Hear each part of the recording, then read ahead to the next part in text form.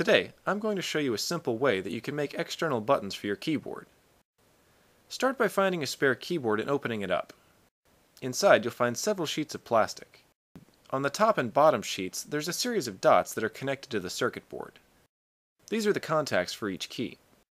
To activate a key with an external switch, we need to connect a wire to each of the two contacts for that key. The easiest way to do this is to take the exposed end of the wire and tape it directly to the contacts. If it isn't sticking well, you can use a paper clip to help hold it in place.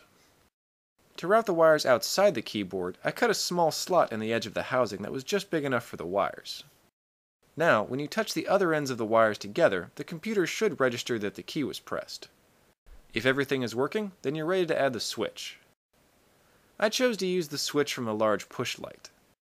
The only problem was that this switch latches so that it stays on after you press it. So I used a knife to pry open the housing of the switch, then I removed the latching pin. This turned it into a momentary switch.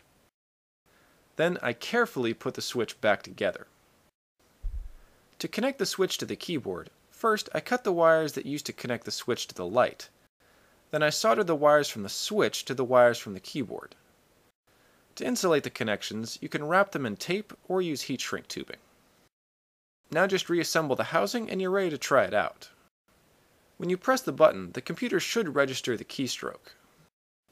The only downside of this design is that you won't be able to use that key on the keyboard. So in most cases, you'll want to have one keyboard for typing and a second keyboard for the external switches. Now you just need to find a few creative ways to use your new external keyboard buttons.